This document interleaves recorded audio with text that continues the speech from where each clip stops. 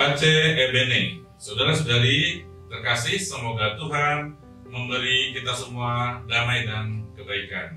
Bersama saya, Saudara Robertus Agung Suryanto, OFM, dalam program Resapi, Renungan Sabda Allah Pemberi Inspirasi.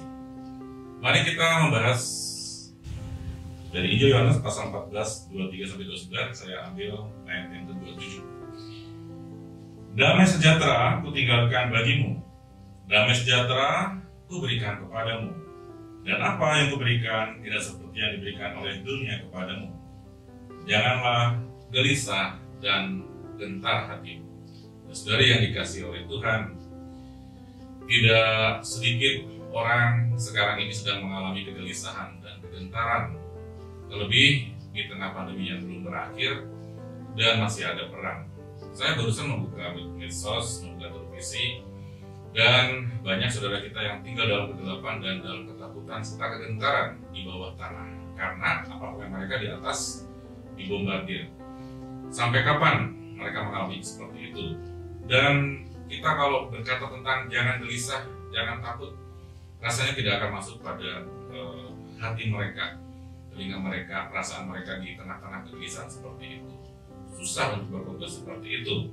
Nah kita sekalian boleh bersyukur karena kita ternyata tinggal di tempat yang ada damai sejahtera dan sejahtera damai sejahtera Tuhan kita rasakan di mana-mana kita mengalami kebaikan dan perbaikan dalam hidup kita.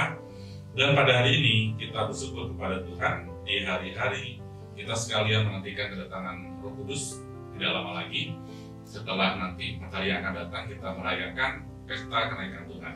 Dan sudah dikasih Tuhan Saudara pada hari ini sangat menunjukkan kita sekalian. Yesus menegaskan kepada para muridnya demikian. Kalau kamu mengasihi aku, kamu akan menuruti firman. Dan orang yang menuruti firman Tuhan akan mengalami dari sejahtera Tuhan. Itu dari Yesus kepada kita sekalian. Dengan diutusnya roh kudus yang akan kita persiapkan pada saat kita menantikan kedatangan roh kudus dalam rencana kita. Yang jelas pada hari-hari ini kita mengalami semuanya itu. Dan sejahtera Tuhan janjikan, Tuhan limpahkan pada kita semuanya. Meskipun di sana sini ada banyak peristiwa yang bagi kita sekalian eh, kita satukan kekuatan kita, keprihatinan kita untuk mereka yang masih dalam kegelapan, dalam ketakutan dan kecemasan. Meskipun pasca cahaya Tuhan eh, semestinya dirasakan dan membaharui hidup mereka juga. Kita masih prihatin sekarang ini dengan peperangan yang masih terjadi. Karena itu kita yang hidup di tempat yang penuh dengan damai sejahtera kita berdoa kita support mereka yang ada di tempat-tempat yang masih dalam kegelapan dalam ketakutan dan kecemasan. Agar damai sejahtera Tuhan sungguh-sungguh bisa dirasakan oleh saudara-saudari kita. Dan itu marilah kita mohon pada Tuhan rahmat itu. Dan kita semua adalah orang-orang yang diutus Tuhan untuk berbagi rahmat damai sejahtera Tuhan. Pace Ebene damai sejahtera Tuhan Tuhan berkati.